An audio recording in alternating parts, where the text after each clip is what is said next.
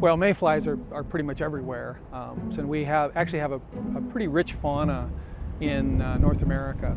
Um, they start out with an, an, egg stage, and then they have a series of what are called nymphal stages, uh, aquatic immature stages.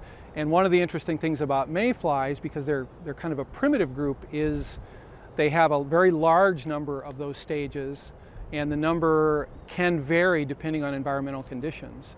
But then they, when they leave the water, um, they have a wing stage that is not yet reproductive, uh, something that's called a subimago. And then that's a, a, very brief stage that, you know, we think it, its main purpose is just to get it out of the water, help it get, you know, to a riparian area, to a tree near the stream or whatever.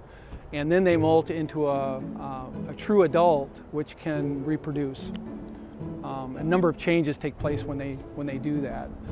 And really, if you think about mayflies, the nymphs are adapted for, um, for feeding and growth, and the adults really only uh, serve a reproductive purpose. I mean, they, they spend almost their, entire life uh, flying around looking for a mate, and, and that's about it. It is one of those groups that is well known for its swarming behavior. Uh, and for the most part, those swarms are going to be males, and they tend to swarm in places where they're highly visible to females, so the females can easily find them and, and they can then mate in those areas.